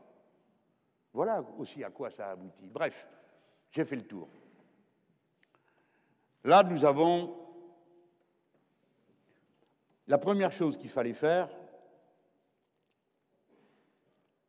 le 7, c'était tout de suite de ne pas accepter, si dur que ce soit, parce qu'on avait tous compris entre les lignes que l'action qui avait été menée, euh, bah, ce n'est pas une action de tendresse. Hein.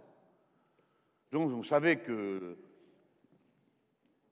la violence allait provoquer légitimement de l'indignation et à nouveau de la violence. Ceux qui ont assez vécu se rappellent pour avoir déjà vécu ça dans d'autres conflits. Il y a bien des gens ici qui se rappellent de la période de la guerre d'Algérie. Ah, maintenant, c'est simple pour tout le monde, mais à l'époque, ça ne l'était pas. Et puis d'autres guerres comme ça. Ce qu'il fallait, c'est mettre une ligne d'arrêt. Et à partir de la ligne d'arrêt, de construire une opinion qui résiste et d'aider ceux qui veulent résister à avoir un point d'appui. Il s'en est fallu de peu qu'il n'y ait plus rien du tout. Car l'irresponsabilité qu'il y a dans nos rangs, je veux dire dans la gauche d'avant, la gauche traditionnelle, celle avec laquelle on avait organisé, que je continue à penser, comme beaucoup, un, un bon accord, un bel accord, qui nous permettait de passer de la défensive à l'offensive. Là, vous avez une élection qui s'avance, qui va être l'élection européenne. Si on était unis, on dispute la première place aux fachos et aux, macronistes. Nos partenaires ont décidé que non, il n'y aurait pas de, liste d'union. Je ne vais pas parler de ça ce soir, ce n'est pas le sujet. Mais je veux dire, le résultat, on le connaît. C'est qu'au lieu, et si nous n'arrivons pas à faire assez fort, on aura des fachos plus dominants après qu'avant, plus forts, plus conscients de leur force. Et chez nous, ça sera, les gens diront, oh là là, encore. Puis vous savez comment c'est, ah, ils perdent leur sang-froid. Euh, ah, vous n'avez qu'à vous mettre d'accord. Ben, Peut-être bien, on a fait ce qu'on a pu. Non, vous êtes tous les mêmes. Bon, ça fait qu'accroître la pagaille, accroître la confusion et la désespérance. Donc, il faut savoir tenir bon. Et là, c'était pareil. Tenir bon. Du coup, toute une opinion a pu se rassembler contre la guerre et contre le racisme. Et vous voyez chaque semaine beaucoup de gens venir en marche, en manifestation, et j'espère que vous y allez. Euh, des fois, c'est pas marrant parce que vraiment, comme samedi dernier, il pleuvait et puis de l'eau froide en plus. Hein. Alors bon, euh, quand c'est de l'eau chaude, c'est plus sympa. Il faut tenir bon comme ça, il faut continuer à donner dans l'action un prolongement à la légitime colère des gens et continuer à résister à tous les racismes. Refuser d'entrer dans cette logique, si peu que ce soit. Parce que nos alliés d'hier n'ont pas brillé par euh, leur subtilité. Et en particulier la fameuse marche du 12 novembre. C'est pénible à regarder parce que quand on discute comme ça au départ, vous savez comment c'est, tout le monde dit Ah, c'est contre l'antisémitisme, tu es obligé d'y aller, tu peux pas. Attendez, on réfléchit, on pèse, on réfléchit, on, regarde ce qui se passe. Et tout d'un coup, vous apprenez qu'il euh, y a deux organisations d'extrême droite qui disent Bon, on y sera. Et personne ne dit rien. Comment ça? Vous allez manifester contre l'antisémitisme avec des gens qui sont des antisémites et en plus islamophobes nous ne pouvons pas, nous. Mais mettez-vous, ceux qui doutent encore dans cette salle, vous m'imaginez allant dans un quartier populaire dire écoutez, on va manifester avec des gens qui pensent que vous êtes des animaux, qu'on peut massacrer à tel endroit et qu'en plus euh, votre érotisme dépend de votre haine. Je vous le plaisante d'une manière amicale, euh, marrante, pour, pour que vous imaginiez la situation. Comment on va faire une chose pareille? C'est pas possible. Vous ne pouvez pas faire l'unité du peuple contre une partie du peuple. Ce n'est pas possible. C'est d'ailleurs un très grand problème, parce que on me dit il faut vous entendre. Ah, mais vous êtes d'accord pour que je revienne vous voir en tenant par la main des gens qui vous disent que bon, vous êtes discutable, qu'il y a un problème avec l'antisémitisme. Je, pense que si je reviens dans ces conditions-là, vous allez tous m'engueuler en me disant mais t'es venu avec qui là? Tu viens, tu viens à table, tu amènes des gens qui sont mal polis. Là aussi, je vous le présente d'une manière souriante. Mais c'est ce que vous nous avez dit sur le terrain. Combien de fois on ne veut plus les revoir? On ne veut pas les voir tant qu'ils parlent comme ça. Vous savez de qui je parle en ce moment même. C'est une difficulté qu'il va falloir aussi surmonter. Mais si nous voulons conserver l'unité populaire, jamais on ne met le doigt dans le début du commencement du renoncement à la lutte antiraciste, quelle qu'elle soit. Voilà pourquoi il ne fallait pas aller. fallait pas aller le 12 novembre. Alors en plus, mes paroles vont faire chaud au cœur des macronistes. Parce que la manif, elle était euh, aussi un peu anti-macroniste. Hein. Ils sont tellement bien débrouillés que l'autre ne pouvait plus y venir. Dans un régime qui dépend du président de la République, ça fait mauvais genre. Parce que Mme Braun-Pivet, là, elle est partie dans sa campagne présidentielle fort. Elle court à Tel Aviv avant que le président de la République y aille. L'autre, il est obligé d'en rajouter quand il y va. Quand il revient après avoir dit un maximum de bêtises, il arrive ici, c'est pour se faire foutre dehors d'une manif. Il en rajoute, et ainsi de suite. C'est ça qu'on est en train de vivre. Une sorte d'épuisement, de, de vide du pouvoir. On attend une parole structurante et structurée. Et quand elle a lieu, il faut l'appuyer. Quand le président de la République, même si on l'a combattu comme on l'a combattu et comme on le combattra encore, dit qu'il est pour le cessez-le-feu, eh bien on dit c'est bien, c'est bien, vous avez changé d'avis, ça y est, vous avez compris, on est d'accord. Voilà.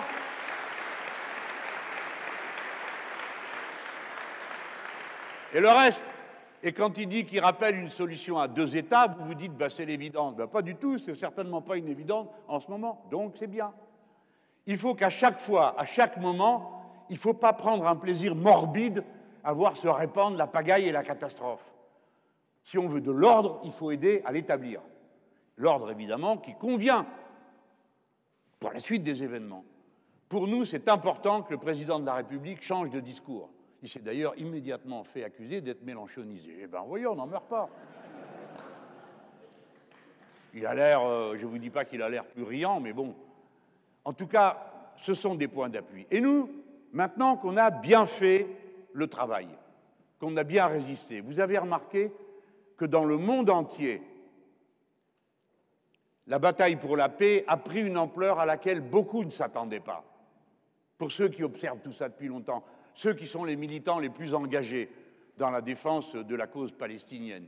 Vous avez quand même connu des périodes où c'était marée basse. Hein bon. Et vous voyez bien que c'est dans le monde entier, et y compris dans le monde entier, des communautés juives ont pris position, et je pense qu'il faut qu'on salue ça parce que c'est d'un courage extraordinaire, y compris en Israël.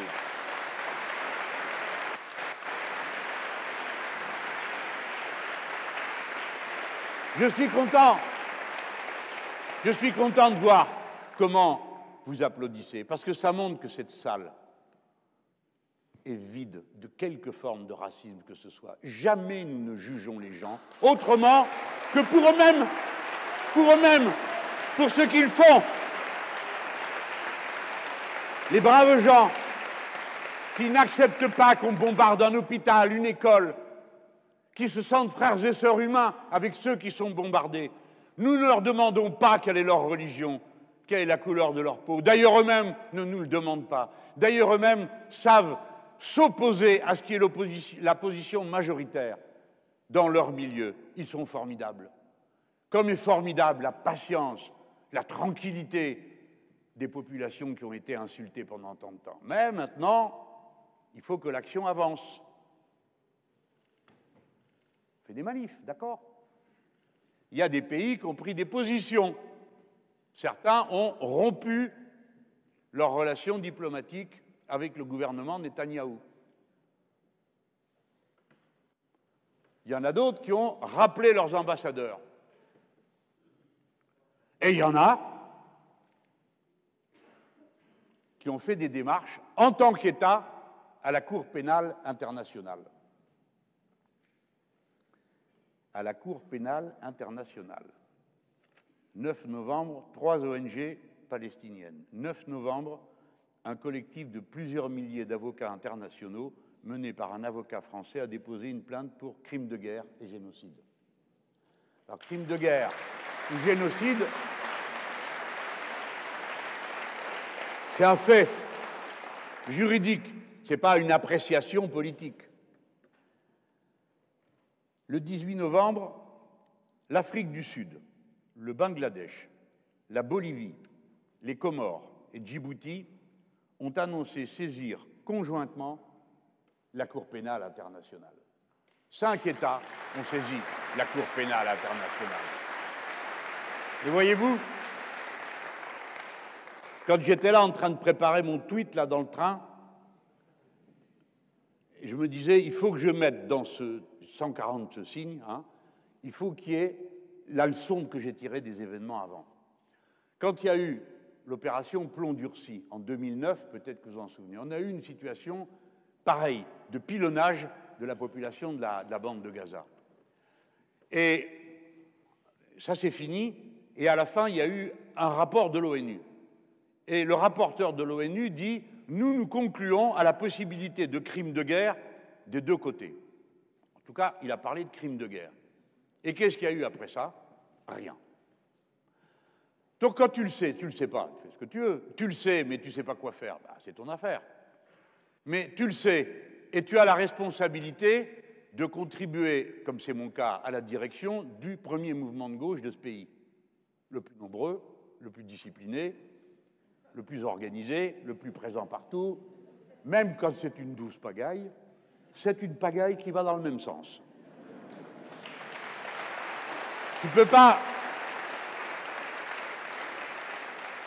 Il faut dire des choses qui ont un sens concret, qui ont un sens euh, qu'on pourrait assumer si nous-mêmes on dirigeait l'État.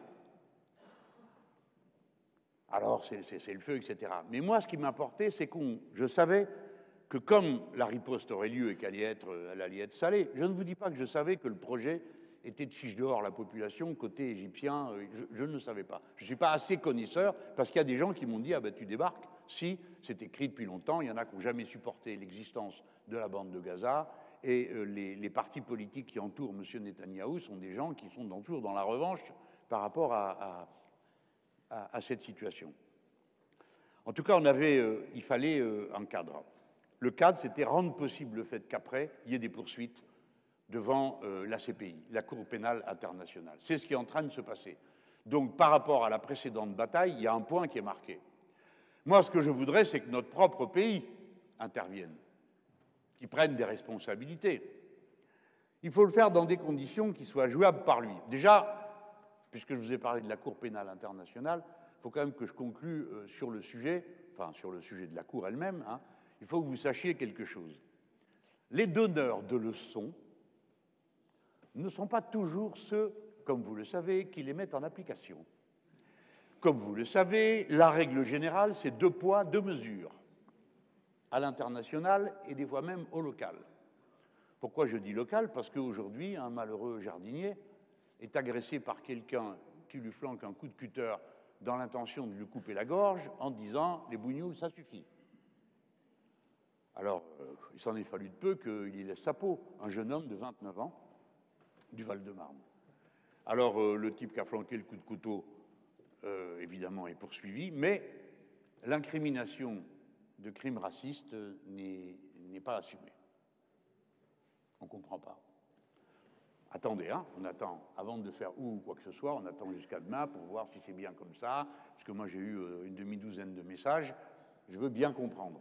Mais quand il y en a un qui dit à l'autre euh, les bouillons, ça suffit et qui lui coupe la gorge avec un cutter, il me semble que euh, l'intention raciste est quand même assez évidente. Alors qu'est-ce qu'il faut de plus hein? Bon. Donc, nous verrons, mais nous demandons qu'il n'y ait pas deux poids, deux mesures pour le racisme meurtrier, comme pour le racisme en général. Alors la CPI, pareil, deux poids, deux mesures. Déjà, ceux qui donnent des conseils, ceux qui ont dit Monsieur Poutine va en Afrique du Sud, l'Afrique du Sud doit arrêter Monsieur Poutine pour le remettre à la Cour pénale internationale. Qui a dit ça? Les États-Unis d'Amérique. Ah, nom d'un chien On va voir de quel bois il chauffe. Il y a un problème. Les États-Unis d'Amérique n'ont pas signé la convention qui crée la Cour pénale internationale. Et vous savez pourquoi? Parce que sinon, il y aura la moitié de leur état-major des armées qui s'y trouverait. Voilà la vérité.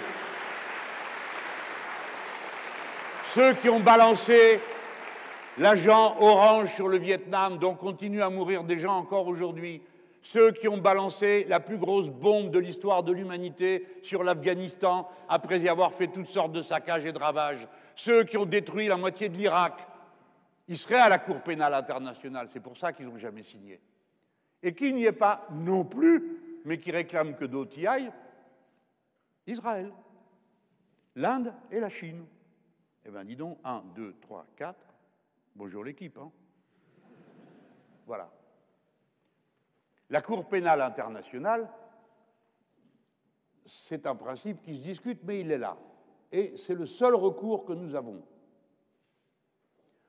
Par conséquent, je pense que nos amis, nos députés, à l'Union européenne, mais aussi au groupe parlementaire français, devraient, comme je suis bien informé, je pense qu'ils ont, je sais qu'ils ont déjà fait des trucs avec des amendements au Parlement européen, et vous avez vu que Mathilde et les autres ont posé déjà des questions, questions d'actualité. Moi, je pense que nous devons demander au niveau européen des sanctions contre le gouvernement d'Israël, et notamment des sanctions financières, parce qu'il n'y a aucune raison qu'on continue à aider financièrement un pays qui refuse d'entendre raison et refuse de faire cesser le massacre à Gaza.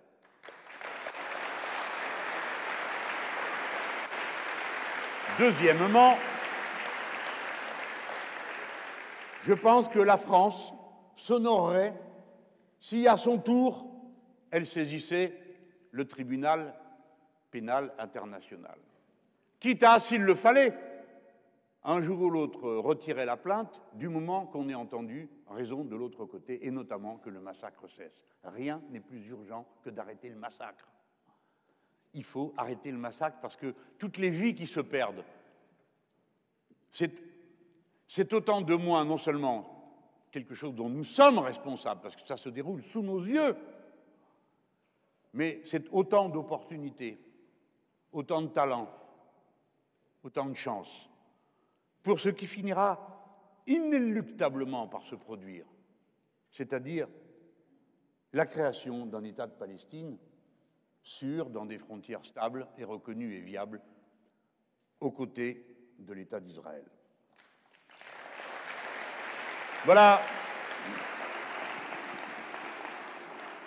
comment j'ai fait le lien entre ce que mon livre observe, discerne, met en rapport l'un avec l'autre, la ville, la population, les réseaux. Les réseaux, mes amis, je vous ai parlé des grands réseaux, mais vous avez vu comment ça a commencé Est-ce que quelqu'un peut vivre sans réseau? J'ai expliqué sur tous les tons que ce n'était pas possible. Bah, Qu'est-ce qu'ils ont fait? Quick, ils ont coupé les réseaux à Gaza. Pas de réseau, pas de vie. Alors il faut en tirer la leçon pour ici. Pas parce qu'on est menacé de se faire couper les réseaux euh, par un ennemi qui viendrait nous envahir. Non, nous, on est menacé de se faire couper les réseaux à titre individuel par les capitalistes qui les possèdent. C'est pas pareil, mais le résultat est le même. On ne peut pas vivre sans eau, on ne peut pas vivre sans électricité, on ne peut pas vivre sans tout ce que les réseaux nous apportent. Et ça, bon, dans le livre, j'explique pourquoi c'est comme ça et pourquoi ça crée une situation euh, sociale totalement euh, nouvelle. Mais ça développe une vision de l'international. J'en ai présenté par le concret les éléments essentiels. Mais je veux plaider, pour terminer mon propos, encore une fois, pour deux choses. Premièrement, refuser l'alignement politique. L'alignement politique vous oblige à condamner celui qui est condamné par le dominant de votre alliance. Quand les États-Unis d'Amérique condamnent quelqu'un, vous êtes obligé de condamner à votre tour. Vous y êtes contraint de mille et une manières. Et ainsi la France, indépendante, se retrouve à n'avoir rien à dire, sinon qu'elle partage, paraît-il, des valeurs humanistes, avec un gouvernement qui a organisé un massacre. Et peu importe qui est ce gouvernement, ce qui compte, c'est qu'il organise un massacre. Et c'est pour ça que nous le condamnons et pour rien d'autre. Donc, le non-alignement est une condition de l'indépendance. Et l'indépendance, c'est la liberté. Vous êtes libre si vous pouvez faire ce que vous voulez, évidemment dans le cadre des règles qui existent. Donc, il faut des règles et que ces règles soient dominées et maîtrisées par vous. Il y a un rapport immédiat entre indépendance, souveraineté du peuple et respect de la loi et donc de la démocratie. Ce sont des concepts qui sont liés les uns aux autres. Vous n'êtes pas en démocratie si certaines décisions vous sont imposées de force sans même que vous sachiez que vous êtes engagé.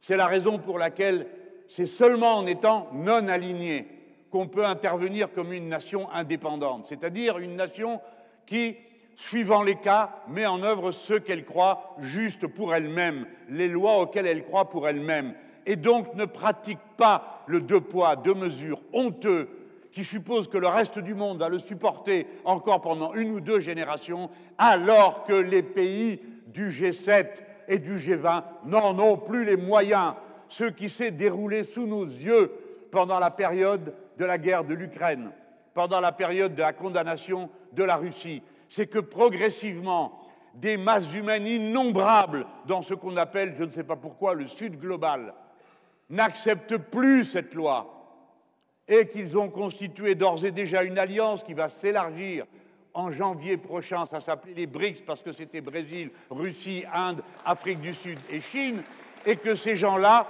vont recevoir six pays de plus en janvier, et qu'ils représentent une part de la richesse mondiale supérieure à celle du G7. Alors, vous applaudissez parce que vous n'aimez pas avoir un maître. Mais figurez-vous qu'en avoir deux, c'est pas mieux. La situation va nécessiter beaucoup de doigté, beaucoup de savoir-faire pour ne pas être embarqué. Parce que de toute façon, ces deux blocs vont se confronter. On ne sait pas très bien ce qui s'est dit entre Biden, le président des États-Unis, et le président de la Chine. Ça a duré quatre heures, donc on peut supposer que, même avec la traduction, ça laisse deux heures. Beaucoup de choses ont dû se dire. Nous y sommes directement intéressés. Qu'en savons-nous, nous autres? Moi, si, mais vous, rien. Les parlementaires, que dalle. Voilà, c'est comme ça. Mais ce sont des discussions qui engagent l'avenir du monde. Et nous, notre intérêt, nous, les Français, on n'est que 67 millions, c'est le moment de s'en rappeler. D'accord Ça ne fait pas beaucoup. Donc il faut être habile. Il faut savoir s'entourer d'amis, d'alliés. Et pas simplement compter sur euh, le super chef pour nous faire des amis et des alliés. Ça, c'est le meilleur moyen de plus en avoir. On ne peut pas accepter l'idée qu'à un dominion se substitue un autre, à l'unique motif qu'il est plus riche, ou bien au motif que c'est lui qui a le pétrole, ou bien parce qu'on a peur de payer plus cher. Vous savez que ça vous coûte des sous, la guerre euh, à Gaza, hein parce que comme euh, le gaz n'est plus sorti d'Égypte et qu'il passe plus euh, vers l'Europe, bah, le prix du gaz a augmenté. Comme c'est 5% des livraisons, ça compte quand même. Bon, vous aurez à tout moment toutes les raisons. On vous dira, écoutez, Soyez raisonnable, hein Baissez d'un ton, s'il vous plaît. Hein? Voilà, comme dit M. Netanyahou. J'ai un conseil à vous donner, gardez le silence. Il a dit ça à tous ses voisins. Vous vous rendez compte de la manière avec laquelle il parle aux gens? Et vous, qu'est-ce que vous croyez Que ça les gênerait, certains, d'en faire autant avec nous? Non. Donc il faut, à chaque étape, maintenir ces principes. Si vous êtes non aligné, personne ne peut dire d'avance les Français vont faire ceci ou cela. Les Français soutiennent ce qui est juste. Si c'est pas juste, ils s'en foutent de savoir qui c'est qui l'a fait, ils soutiennent pas. Je simplifie mon propos, mais tout le monde comprend ce que je veux dire. Le non-alignement est la condition de l'indépendance. Primo. Segundo, le non-alignement est ce qui nous donne les moyens de bien comprendre la situation. Si vous croyez au choc des civilisations, eh ben, vous n'êtes pas prêt de comprendre ce qui se passe. Parce qu'allez m'expliquer pourquoi l'Iran, qui est chiite, soutient l'Arménie, qui est orthodoxe, tandis que la Turquie, qui est sunnite, soutient l'Azerbaïdjan, qui est chiite. Vas-y, vas-y, sors là ta, théorie du choc des civilisations, comment ça marche là au milieu? Par contre, si vous écoutez ce que disent les insoumis, ils vont vous expliquer. Le pipeline passe là, donc ceux qui sont pour que ça passe là se mettent d'accord entre eux et les autres entre eux. Voilà. Le pipe, tout le monde comprend. J'insiste, je suis revenu dessus. Parce que je veux que tout le monde comprenne bien de quoi on parle, d'intérêt matériel et de l'intérêt pour la France de ne pas être aligné pour qu'on ne puisse pas la faire taire. Et si elle parle, que ce soit toujours pour proposer quoi? Pas la puissance militaire, la puissance des coalitions autour des causes communes. Parlons de l'eau, Parlons du moyen de faire en sorte qu'on puisse produire de l'énergie à propos et à partir de l'énergie de la mer, parce que celle-là, elle est gratuite. Il y a d'autres formes d'énergie, je le sais. Mais en tout cas, qu'on mette en commun ça, qu'on parle avec les pays de comment on peut le faire, comment on peut échanger. Et maintenant, écoutez ça en plus. C'est nous qui avons besoin des autres. Ne faisons pas la bêtise de, se croire tellement important qu'on peut regarder le reste du monde comme ça. C'est nous qui sommes une nation vieillissante. C'est nous qui sommes un peuple vieillissant, qui en plus fait la bêtise de jeter dehors les gens qui veulent venir pour donner le coup de main, pour faire leur vie avec nous. C'est une bêtise, c'est une bêtise, c'est une bêtise. Nous avons besoin des autres. Cette année, le Canada a décidé de faire entrer cette année, l'année prochaine et l'année suivante 480 000 personnes par an, parce qu'ils ne trouvent plus les gens dont ils ont besoin pour faire. Et quoi? Vous ne savez pas comment ça se passe, vous en êtes les témoins tous, vos pères, vos mères, les miens. Tout ça à la fin, si on passe pas sa vie à vouloir s'imposer les uns aux autres, pas la cuisine, ça la cuisine, il faut tout essayer. mais je dirais des religions ou autres, on finit par être un seul peuple. Qu'est-ce que nous sommes là, sinon un seul peuple? Un seul peuple uni par quoi? Des principes, des intérêts communs, des affections communes. Voilà, il faut faire confiance à l'humanité. Tout à l'heure, j'ai cité les Juifs des États-Unis qui se mobilisent contre la politique de M. Netanyahou. J'ai cité la patience de notre peuple. Vous voyez que les peuples sont capables de sagesse, sont capables d'intelligence collective. Ils ne sont pas forcément abandonnés aux conduites absurdes que leurs leaders leur conseillent de tenir. Alors il faut accepter enfin une dernière chose dont j'explique l'importance dans le livre. C'est la créolisation. Entre l'objectif de l'universel, qui reste notre objectif quoi qu'il arrive, nous croyons à des valeurs universelles, parce que nous croyons à l'universalité de la condition humaine. Nous sommes semblables, pas identiques, ça va de soi, mais semblables. Nos besoins sont les mêmes. Je veux dire, ils sont semblables. Dès lors, il y a bien une universelle humanité. La preuve, c'est qu'on peut tous faire des enfants. Alors, c'est comme ça qu'on classe les espèces animales. Il faut pouvoir le mettre en œuvre, et c'est ce que fait la créolisation. Il faut absolument mener d'arrache-pied la bataille contre ceux qui disent qu'il y a un grand remplacement et toutes ces folies qu'ils entretiennent à longueur d'année pour faire peur avec telle ou telle partie de la population qui n'a pas la religion qui leur convient ou la couleur de peau. C'est pour ça qu'il faut qu'on les batte en juin prochain. Absolument, il faut qu'ils sachent qu'il y a une réplique en face, que nous sommes les plus forts. Le peuple français, dans toute sa diversité, voilà ce qu'il faut qu'on fasse. Alors on peut y arriver. Déjà, vous m'applaudissez bien, donc euh, ça a l'air de vous plaire. On va le faire, mes amis. Tenez bon, parce que je sais que chacun d'entre vous le fait. Tout à l'heure, vous m'avez applaudi quand j'ai dit la première barrière au racisme, c'est chacun d'entre nous. Eh, eh. Mais la première contamination universaliste et créolisante, c'est encore nous. Il faut montrer nos petits comme ils sont beaux et quand ils viennent d'un petit peu tous les horizons. Parce que de mon temps, on avait un grand-père. C'était un Français sur dix qui avait un grand-père étranger ou une grand-mère. Hein. Maintenant, c'est un sur quatre. Hein. Ça va, on a eu le temps. Hein. Eh bien oui, ça sera comme ça à chaque génération. Nos gamins n'iront pas voir dans le code de la nationalité ce qu'ils ont le droit de se faire s'ils s'aiment. Voilà. Ça, c'est la leçon numéro un de l'humanité. Alors, plus vous mettez de votre côté des raisons de vous aimer et de vivre ensemble, et plus vous êtes sûr que vous faites un peuple. Pour ça, à bas le racisme, à bas l'extrême droite.